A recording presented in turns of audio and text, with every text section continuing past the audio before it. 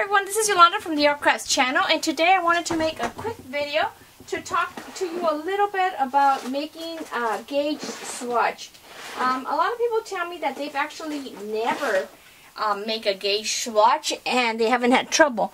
Um, usually, um, if I'm making any kind of garment, uh, I do the gauge swatch, especially if there's sizes involved because I don't want to put like tons of work into something and then find out that either I run out of yarn because my gauge wasn't right or the uh, garment's either too big or too small and I just put in all this work for nothing. So there's um like here different kinds of uh, little swatch tools you could get. Uh, this one is from Susan Bates and this is, is from Boye. Boye. Um, and then of course like for these um, they even have the little spaces where you could put in your knitting needle and if it fits through there you know what size your needle is. Um, that's important because sometimes you know you you might not know what it is and it's not written on there. Now there's um there's little measurements on here that will give you the inches and centimeters um, so uh, millimeters I mean. And so here um, if you usually um, people are going to do your an inch or two inch and it's even actually better to do at least a two inches and going up and across. And usually you would want to make um, a little a swatch that's at least four inches by four inches a four inch square. And even it would be even better if you had a eight inch I mean a six inch square. So here is a piece I'm actually working now. And this um, the the gauge is going to be different uh, affected by the type of yarn also not just the size of the hook or needle. So like this is a thinner yarn than this. So this is a size, a weight 3, this is a weight 4. And sometimes the pattern will give you the gauge.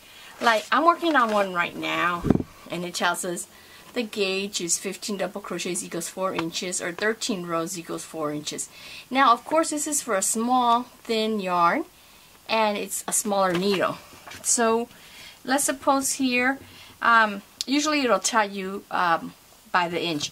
I like to measure in several places, like you could do here, here, and here. And that's why you want to have a bigger piece because sometimes your tension will be changing as you work, as your hands get tired. So let's, um, a lot of times, like this one, it tells us, of course, that our gauge was measured in half double crochets, which is what this is. Sometimes, and of course, this is a hat that is double crochet and a medium this is a double crochet with a medium weight yarn. It was done doing a J hook. So of course if I measure the gauge on here, it's going to be different than here. So just to show you the difference. So here, for this, I'm going to put it, you just start on your first stitch. Let me get closer so you can see what I'm doing.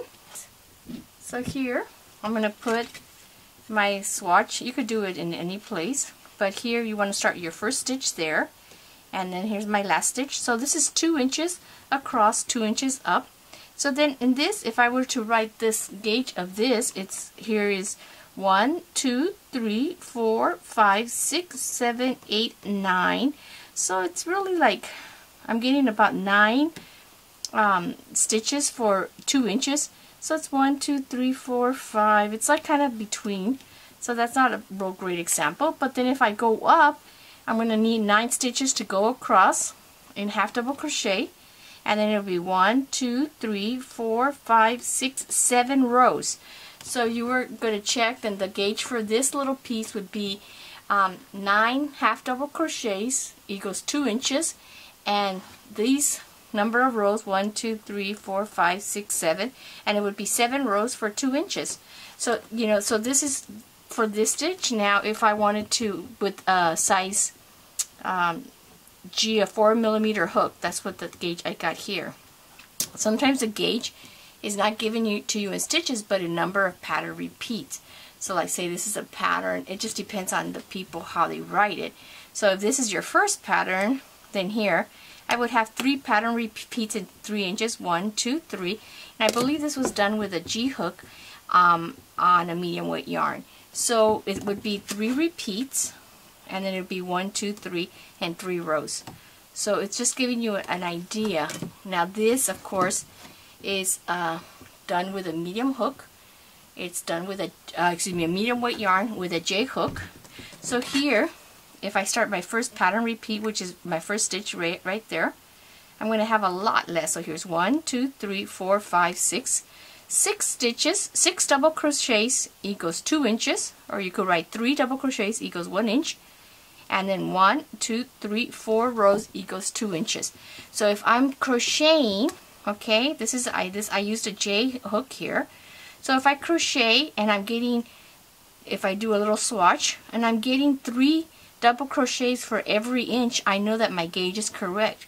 Now this is, you would count across for the number of stitches across and then your rows one, two, three, and let me see here. One, two, one, two, three, and it's almost for like three and a half because it didn't complete the whole row right there. So this is just an idea to give you um, to give you an idea of how you're crocheting or knitting because a lot of people crochet with a different um, tension so you want to make sure now the reason why this is important because if you're reading a pattern and they're telling you um, the gauge is such and such for a size say a size 8 but your your tension is off your garment could either be too large or too small depending on what I was telling you. If you're getting more stitches than you have in the inch, it's going to be too big. If you're getting less, it's going to be too small. And if you're if you're doing it where you're getting more stitches, you're going to end up not sometimes not having enough yarn. So like they say, you need, um, say for example, five ounces of yarn, and um, and then you go ahead and go buy your yarn, but then you find out, hey, I don't have enough uh, yarn. I ran out because my gauge wasn't matching. Um, say like you had uh, your five ounces is about 350 to 600 um, yards of yarn. I'm just guessing because from just from seeing packages. But um, say you had 350 yards of yarn, but your gauge is way off. So then you might have run, and it's telling you you need five ounces. Guess what? You're not going to have enough yarn. You're going to have to run down to the store and hope that they have the same yarn. And then the worst part is that it would not fit. It's the wrong gauge. So this is just a quick explanation. Like I said, this is these are easy to measure on here because it's just regular like half double crochet. And then this one of course is just a double crochet. Sometimes it will tell you how many pattern repeats. Like here it was three pattern repeats how many rows up. Um, and so you want to make sure like this is a little sweater. They might tell you here the gauge was measured in the double crochets and this was with a D hook. And so if I measure here and that's why you want to just make sure, let me open the back because it's a bigger area to let us measure. So you want to make sure, this one I wasn't worried about because I'm actually, you know, if you give it to a baby, babies, you know, I don't have any baby that I was going to give it to, so I wasn't too concerned about it. But here would give me one, two, three, four, five, six. Six double crochets for one inch so it was 12 here for 2 inches and then it's 1, 2, 3, 4, 5, 6, 7 rows going up. And so here my gauge would be, you know, if you wrote it by the inch it would be 6 double crochets equals 1 inch and 1, 2, 3 rows equals 1 inch. Um, but it's also, it's really good to know, you know, that take it like if you make a little square, do at least four inches by four inches. That way you can, you know, check it at one part here, then up here, and maybe in a lower part on your edges to see the consistency of your stitches. The more practice you get, the more consistent and even your stitches will get. And that just comes with practice. So, you, I mean, there's really no shortcut. It's just practice. Um, but say this way, this is, uh, that would be the gauge for here with a D hook and a uh, fingering weight yarn. So this is even a lighter weight yarn. So this is even thinner than this yarn and these yarns of course. So this is just a really quick explanation of gauge. I hope it helps you. If you have any questions, um, put them in the comments below and I didn't want to make it too long because I know that people get kind of okay that's too long I don't want to listen anymore I don't want to ramble on. But your gauge could be counted, like I said, in pattern repeats. If it was a pattern repeat here, then I could write this like one, two, three repeats equals two inches, and then one, two, three, four, five, six, or whatever the rows were.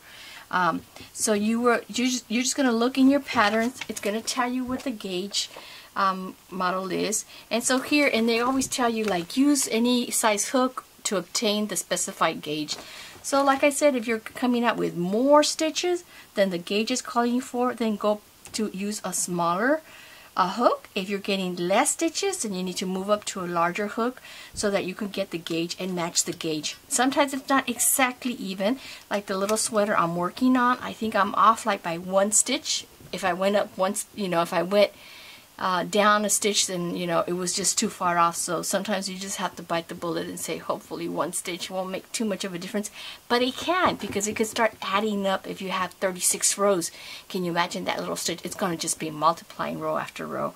So anyway this is just a quick little um, idea on what gauge is. And if you want like I said if you have any questions write them below. Please be sure to subscribe if you haven't already done so. Hit that like button. And remember always that God loves you